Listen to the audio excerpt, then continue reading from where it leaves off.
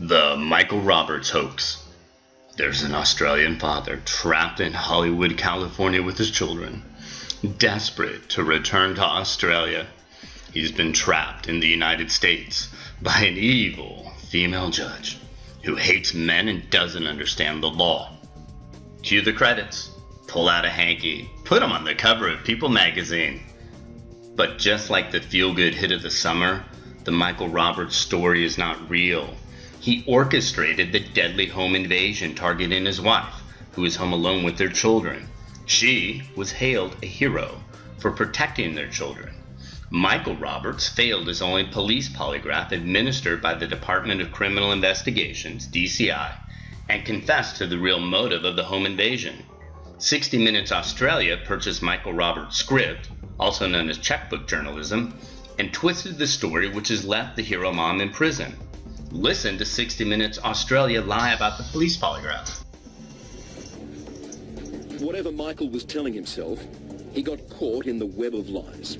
So much so that he would come under suspicion for involvement in the murder when a police polygraph he took was inconclusive.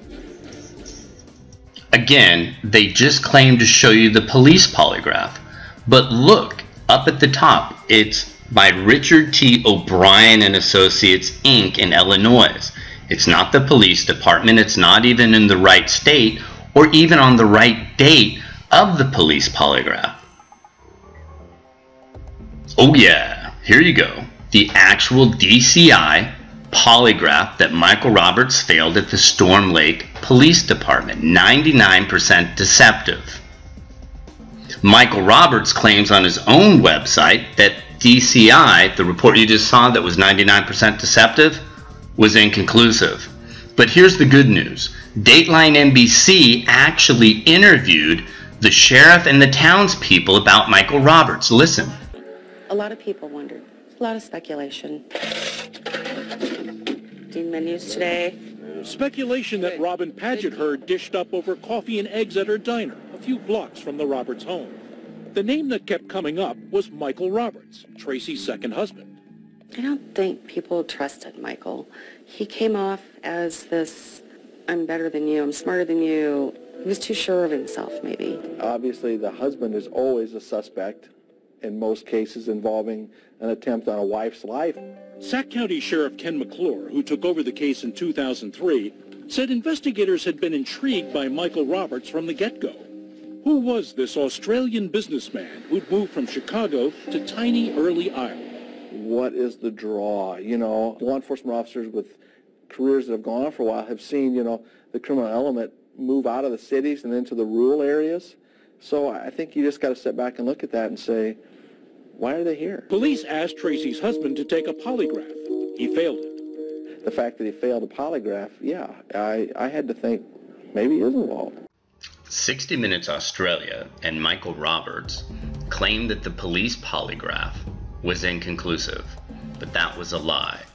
In fact, when Roberts is at the police department, he is told by a special agent and a lieutenant that he was 99% deceptive on if he arranged for Dustin to be in his home, if he planned in advance for Dustin to be there, and if he knew the name of the second intruder. Michael Roberts claimed he was flabbergasted. He knew he failed the polygraph. He gave a re interview. If you click on the link and look at the report, you will see that both he and 60 Minutes lied. Now, with 60 Minutes, what happened? Were they confused? Did they not understand? Were they bamboozled by Michael Roberts? No. Both Michael Usher and Danny Keens, the producer, were hand delivered all of these same documents in Iowa.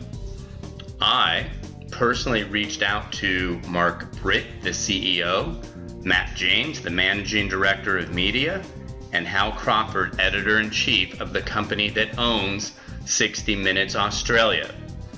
They have all of the documents and they know that their entire piece was a lie. They paid for a story and they put a story up that their viewers, their demographics, what would appeal to them. It's not factual, it's false, it's a lie, and I feel it is disgusting. We will cover this more in additional videos. Thank you.